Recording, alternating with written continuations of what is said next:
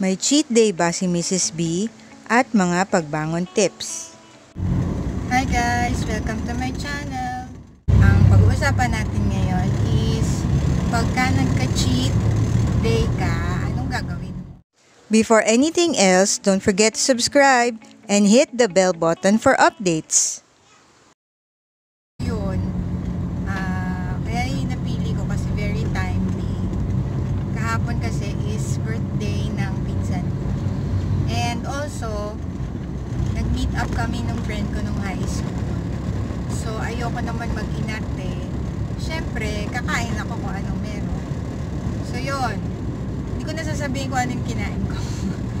Ayokong magbigay ng bad example. Pero, yun. In short, nakakain ako ng bawal. And, I think yung pagkain naman ng bawal is, ano, hindi naman yun ma, hindi mo maiwasan yun. And, wala pa akong nakilala na, na naka low carb na hindi na, na hindi nag-cheat. I mean, hindi yun ano ah, I'm not encouraging everyone to cheat. Pero ano kasi, yung yung ano, yung tayo be as ano as a person, may mga times talaga na hindi mo maiwasan. So, ano yung gagawin mo after mo makakain ng bawal? So, ayun, ang binala kong gawin kahapon is mag-fast. Which is, nagawa ko naman. So, natapos ako kumain kagabi siguro mga around 7. Tapos, ah, kumain ako kanina. Siguro mga around ano, mga around 11.30, 11.45. So, that is 16 hours na agad. Ang unang meal ko na nag-break ng fast ko is coffee with all-purpose cream. So, nakaka-break ng fast talaga yun. Tapos, after that, kumain ako ng ano, ng ilang slices ng meatloaf. Ngayon lang, siguro wala pang 1 hour. Kasi nga, kailangan ko umalis. Eh, hindi ako masyado nagutom dahil nagkape ako kanina. Kaya, kumain lang ako ng ilang slices ng meatloaf para para hindi ako magutom sa daan. And also, right now, eto, I'm drinking my diet soda. Oh, hindi rin ako good example sa diet soda, guys, ha. Huwag niyo akong gagayahin. Pero kasi, sabi ko nga, makes me happy, kaya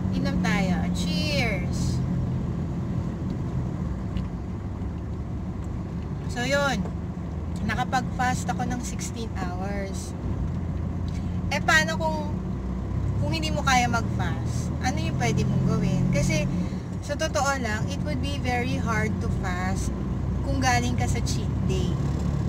Why? Kasi, ah, pag sinabi mong cheat day, as in sobra-sobra ka sa kinain na carbs.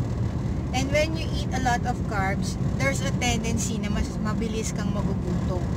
So, mas mahirap mag-fast kung galing ka sa cheat day. So, anong pwede mong gawin kung di mo kaya mag-fast ng 16 hours agad? I would suggest na, kunyari, nagising ka sa umaga, tapos bigla kang nagutom. Ah, tapos, mabe-break yung fast mo. Anong kakainin mo? Kasi nga, nagutom ka na eh. I would suggest you, ano, you make bulletproof coffee. Yung bulletproof coffee is coffee na may butter and may oil tsaka may all-purpose cream. Kaya ako sinabi, sinasabing break yung fast nyo dahil may all-purpose cream yon. And also, well, for some, hindi daw nakaka-break ng fast ang bulletproof coffee kasi daw ah, wala daw yung wala daw yung carbs. Pero parang hindi eh. Mer I think meron, meron din yung carbs pero very minimal only kasi bulletproof coffee is rich in fats. Bakit kailangan mo ng fats? Kasi will fa yung fats hindi ka masyado magugutom. So it will sustain you longer. So kung uminom ka ng bulletproof coffee in the morning, siguro matatagalan pa bago ka mag next meal, yung solid meal mo, like yung mga meat, ganun, egg, matatagalan pa. So parang ang mag-fuel muna sa'yo is yung bulletproof coffee. So yun. So yun yun, yung pwede, pwede mong gawin is mag-fast, hindi kaya mag-fast, at kailangan mo nang i-break yung fast mo dahil gutom na gutom ka na, mag-bulletproof coffee ka. Tapos, ang pangatlo, kung, hin, kung ayaw mo ng bulletproof coffee at gusto mo na talaga kumain ng solid food, I would suggest na mag-prepare ka ng meal na zero carb. What is a zero carb meal? Ang zero carb na meal ay would, would be composed of meats and egg na suggestion ko ha, ang pinakamadali, pinakasimple, hindi complicated is prito. Prito nyo lang yung manok, tapos prito ka ng egg, or prito ka ng ng pork, tapos egg, ay na yun. Actually, yung egg has ano, has carbs, pero it's very minimal it's less than 1 gram. So, pwede, okay na yun. Pwede na yun. Acceptable na siya for zero carb. Yun. Tapos, yun. Tatlong steps na yung, tatlo na yung suggestions na bibigay ko is fasting, take bulletproof coffee para matagal ka makapag uh, solid meal. Yung pangatlo is mag zero carb ka kung talagang gusto mo nang kumain ng solid meal. Ang fourth is pwede kang mag-exercise para ma-burn yung mga pinagkakain mo na ano, na carbs. You can do ano, siguro siguro ano, walking, running, ganun, cardio, yun lang. Kung hindi ka talaga nag-exercise. Basta, ang suggestion ko lang, when you do exercise is, do yung exercise na kaya mong gawin or yung nag enjoy ka. Kasi, mahirap mag-exercise pag hindi ka natutuwa sa ginagawa mo. Para mong pinapahirapan yung sarili mo. So, kunyari, nag-enjoy ka magsayaw, eh di magsumba ka, nag-enjoy kang pahirapan yung sarili mo. Magbuhat ka ng weights, ganun. Um, yun lang lakad lang. Actually, ako, yung cardio na ginagawa ko, yung regular cardio na ginagawa ko, yun lang, yung naglalakad ako sa ano, sa loob ng bahay for 1 hour. As in, paikot-ikot lang ako sa sala. Tapos 1 hour na yon that's my 1 hour cardio. Yun lang. Yun yung, basically yun. Yun yung four, four things you can do pagka nag-cheat ka. Number one is fast.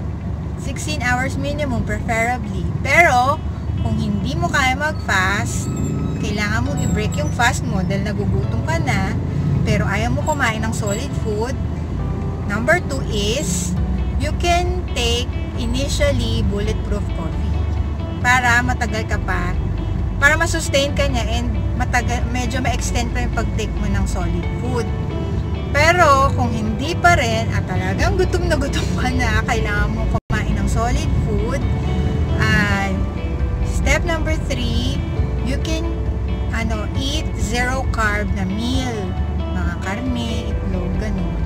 Tapos, kung after that, parang gusto mo pa rin, as in feeling mo kulang pa din yung effort mo mag-exercise. Yon. That's it.